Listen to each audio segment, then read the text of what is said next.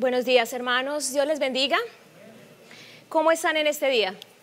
Bendecidos. Gracias por la misericordia de Dios. Bueno, eh, vamos a dar inicio al estudio del día de hoy. Eh, vamos a abrir nuestras Biblias en el libro de Hechos, el capítulo 24. Vamos a leer el versículo 16. Hechos 24, 16. El estudio de hoy se titula Mantengamos una buena conciencia. La palabra de Dios dice así. Por esto yo también me esfuerzo por conservar siempre una buena conciencia, irreprensible delante de Dios y delante de los hombres. Amén. Pueden sentarse, hermanos. Bueno, vamos a ver qué tiene en común un marinero que navega por el océano, un excursionista que hace alpinismo o que va por el desierto, o un aviador que vuela entre las nubes. Todos ellos estarían en graves problemas si no disponen de un equipo o un aparato para orientarse. No tiene que ser algo muy moderno, muy sofisticado. Pasa con una simple brújula. ¿Por qué la brújula es un instrumento tan necesario y en qué sentido se parece a nuestra conciencia?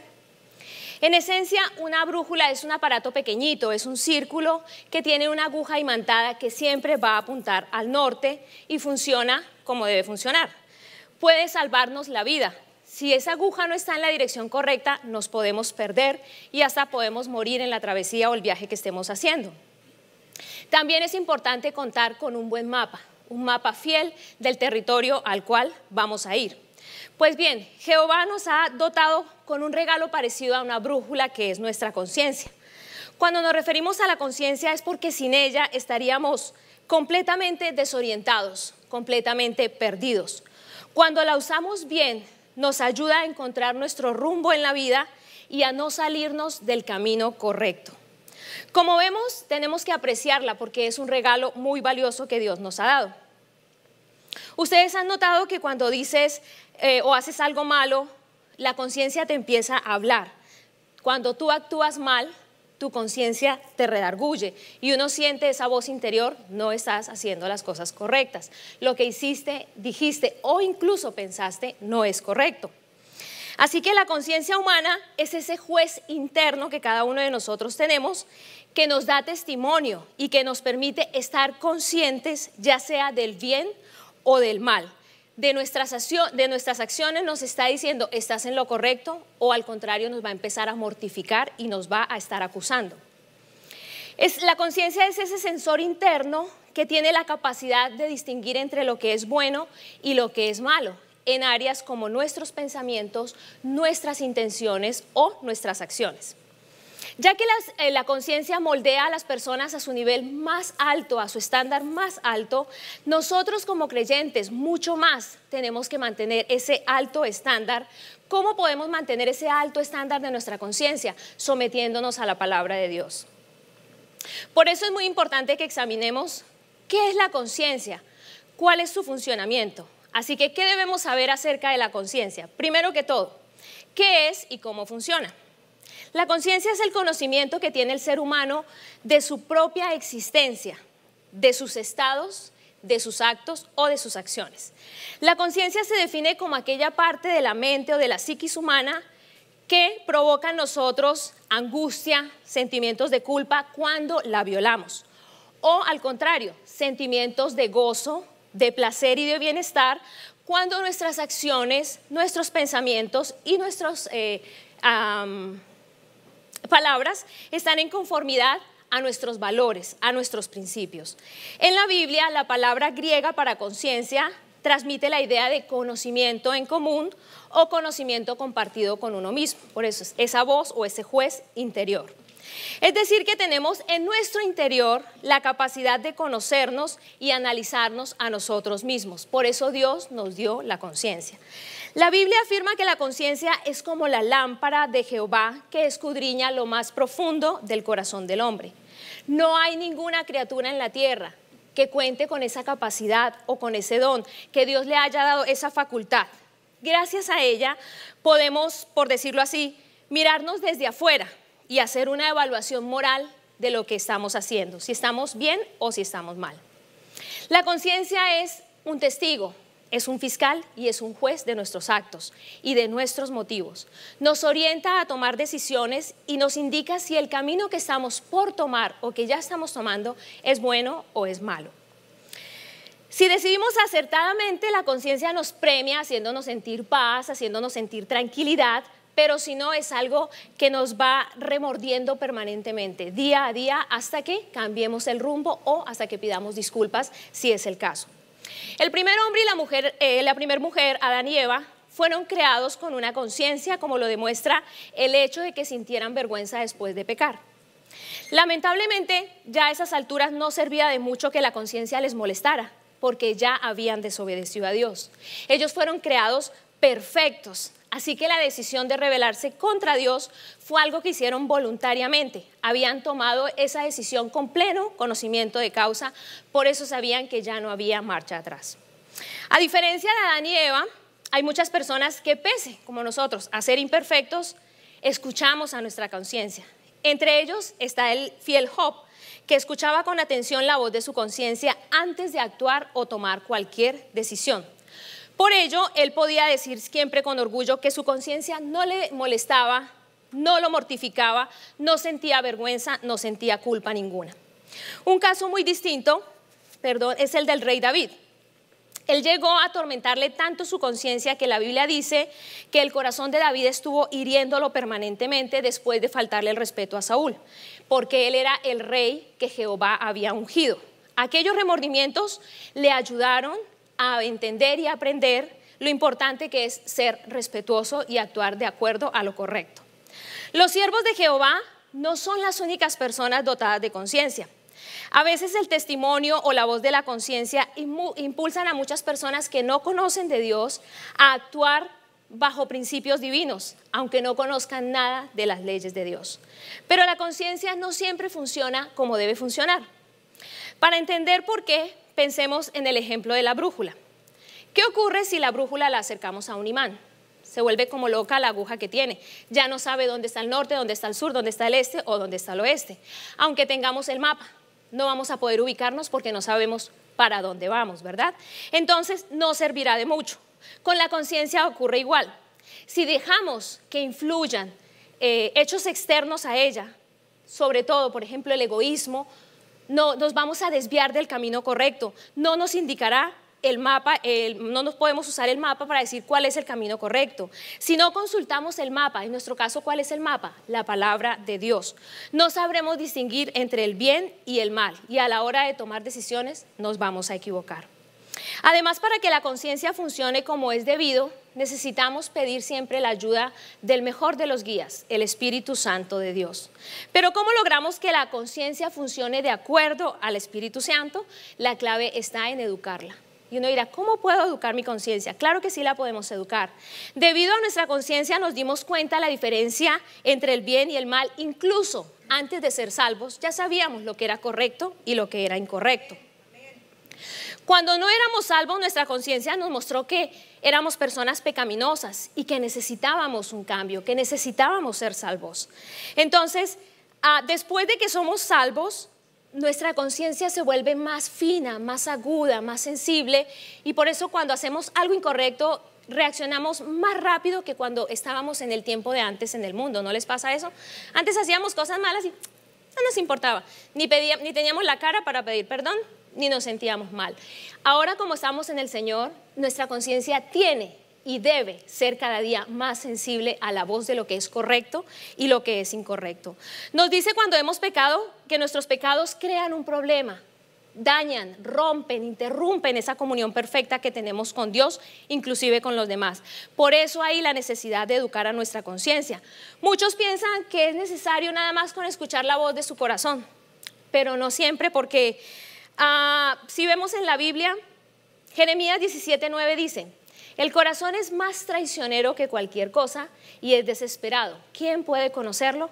Así que no nos olvidemos que los deseos de nuestro corazón pueden ser muy apasionados, muy intensos y a veces pueden ser engañosos, nublan nuestra vista y por tanto nublan nuestra conciencia.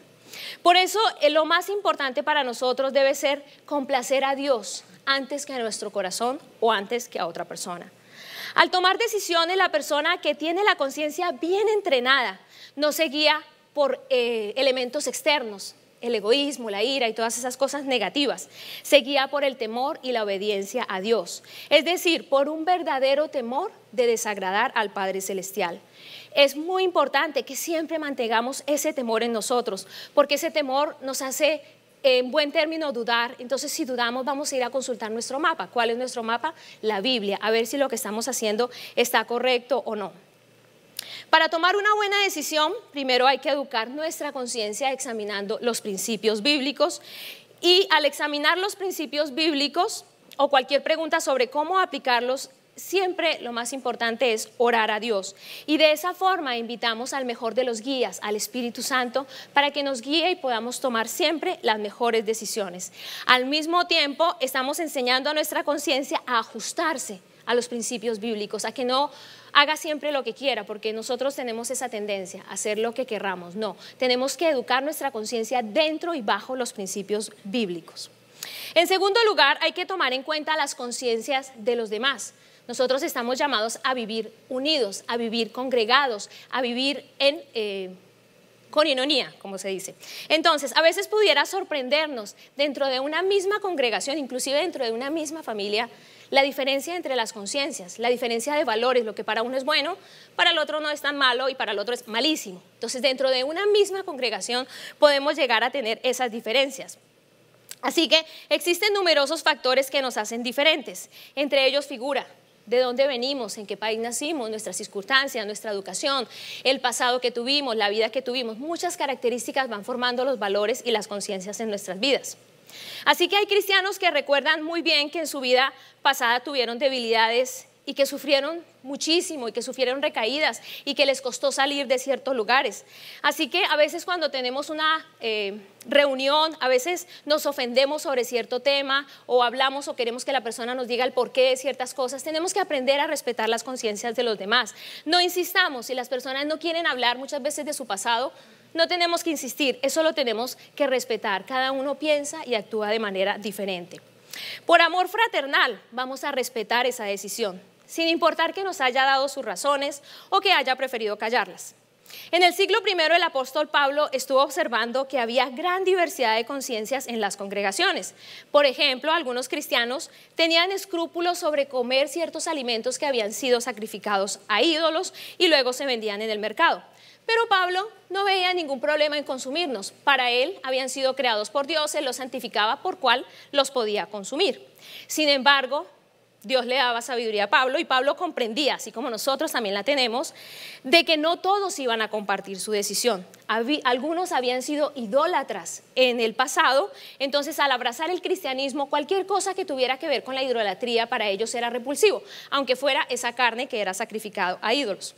Pablo llegó y dijo, Así que los que somos fuertes debemos soportar las flaquezas de los débiles y no agradarnos a nosotros mismos. El ser humano siempre tiene la tendencia a primero yo, segundo yo, tercero yo. No, cuando venimos a los pies de Cristo, primero es Dios y segundo es nuestro prójimo. Debemos agradar al prójimo porque es quien nos ve.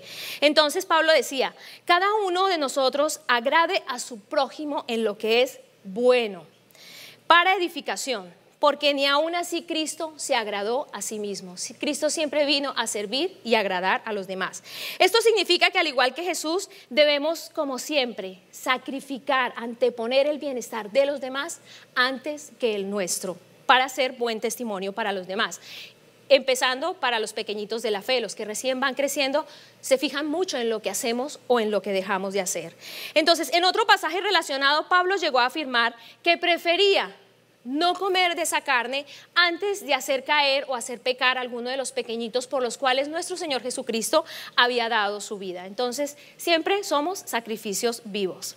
Ahora bien, si nosotros los cristianos hay cosas que hacemos que los demás hacen que nuestra conciencia nos dice, eso no está correcto, tenemos que callarnos, porque la conciencia es una decisión muy personal.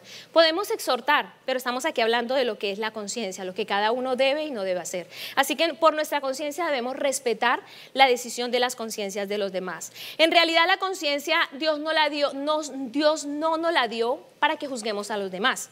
Dios nos dio la conciencia como nuestro autojuez. Es para juzgarnos a nosotros mismos, dentro de nuestro interior, no para juzgar a los demás. Para eso no se hizo la conciencia. No olvidemos que Jesús dijo, no juzguéis para que no seáis juzgados. Así que tenemos siempre que tener la palabra muy pendiente y muy presente en nuestra mente. Nuestro objetivo como iglesia, como cristianos, como hermanos, no es darnos palo uno con otros, no es derribarnos, no es al caído caerle, no, al contrario, Dios nos está ayudando, nos está enseñando a promover el amor, a ayudar a los demás, a ser fuertes juntos, la vez pasada enseñaba, uno solo no hace nada, juntos. Por eso Jesús inclusive cuando mandó a sus discípulos no los mandó solitos, siempre los mandó de a dos. Porque si uno se caía, el otro lo levantaba. Eh, siempre tenemos que andar juntos porque ahí está nuestra fortaleza. En tercer lugar, la conciencia. Los beneficios para mantener una buena conciencia, ¿cuáles son? A la conciencia se le puede comparar con una ventana es una ventana, entra a la luz. En nuestra conciencia entra a la luz de la verdad de Dios. Si insistimos en desobedecer y hacer lo que queremos, esa ventana se va a empezar a nublar, se va a empezar a ensuciar, cada vez más y cada vez más, hasta el punto en que la luz de la verdad de Dios ya no va a entrar a nosotros. Entonces, esto tenemos una conciencia sucia. El apóstol Pedro exhorta a los cristianos y dice, tengan una buena conciencia.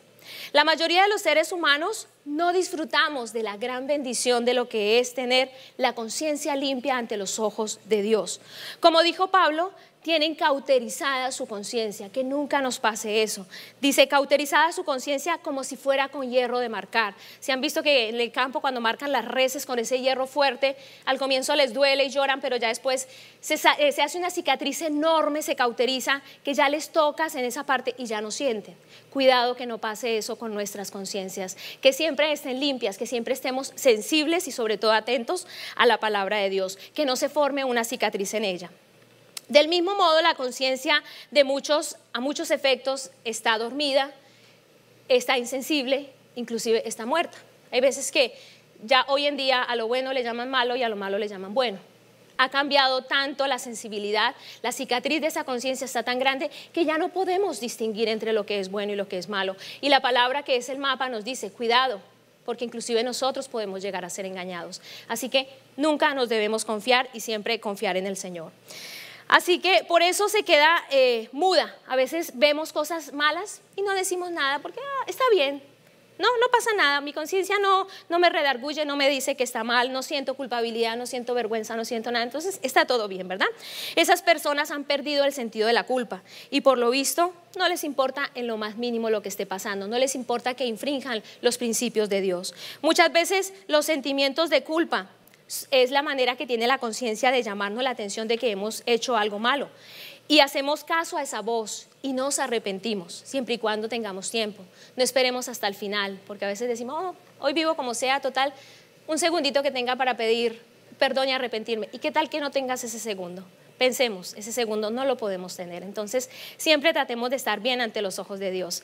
Eh, si nos arrepentimos, Dios es un Dios bueno, es un Dios de amor, es un Dios misericordioso, siempre va a estar dispuesto a perdonarnos si lo hacemos de corazón, con la promesa de no seguir pecando, porque esto no es me equivoco y pido perdón y luego otra vez me equivoco y en el mismo error, no, no porque estamos jugando y con Dios no se juega. Así se dio con el rey David, él cometió grandes pecados, imagínate, David, hombre con el corazón como Dios, pero cometió muchos pecados. Y al final él pidió, se arrepintió realmente de corazón, pidió perdón y principalmente se arrepintió. Y en efecto, Dios le perdonó sus horribles acciones, pero también tomó la firme decisión de no volver a desobedecer las leyes divinas. Por eso Dios lo bendijo como el rey de Israel que él fue. Jehová es bueno y siempre está listo para perdonar. Ahora bien, en ocasiones los sentimientos de culpa y de vergüenza no dejan de mortificarnos. ¿No les ha pasado que aunque pidamos disculpas cuando ofendemos o hicimos algo malo y nos arrepentimos, hay esa voz interior que todavía dice falta, falta y nos sentimos culpables. No, tenemos que hacerle eh, caso a la voz de que ya fuimos perdonados, de que ya no hay más que hacer, porque eso es lo que el enemigo usa para decirnos, no eres lo suficientemente bueno. Todavía el Señor no te ha perdonado. Si tú sientes que te arrepentiste de corazón y sientes inicialmente esa paz interior, ya no permita que otras voces te vengan a decir que no estás perdonado, que no eres que no eres lo suficientemente bueno, porque siempre tenemos más tendencia a escucharlo negativo que lo positivo. Entonces, si eres hijo de Dios y te arrepentiste, mantente firme ahí. Aunque escuches las voces que escuches y aunque te digan lo que te digan. Una vez que nos hemos, eh, perdón, es el momento de poner en práctica el consejo que muchas veces le damos a otros, ¿no? Tienes que recordar que Jesús te ama, que tú ya lo aceptaste y que Él ya te perdonó, así que sigue tranquilo. Entonces nosotros ahí nos autopredicamos. Tenemos que aceptar que Jesús nos ama, que ya nos perdonó y que vamos a seguir tratando de hacer lo correcto. Muchas personas que cometieron graves errores y experimentan lo que es el verdadero arrepentimiento, lo que es el verdadero perdón de Dios, hoy los vemos sirviendo a Dios con perfección, con agrado, con corazón. ¿Por qué? Porque ellos ya saben que tienen su conciencia realmente limpia delante de Dios. Así que el objetivo de este estudio es ayudarnos a conseguir ese gozo que nos da el tener nuestra conciencia limpia, el tener nuestra brújula siempre bien orientada, el mantener con nosotros al lado siempre nuestro guía, nuestro mapa, nuestro guía al Espíritu Santo y nuestro mapa la palabra de Dios, porque estamos viviendo días malos. Los días son malos, los días son oscuros, así que hoy más que nunca tenemos que saber cuál es el norte de nosotros. Y ahí es donde debemos pensar y analizar y poner en práctica las enseñanzas que nos da la palabra.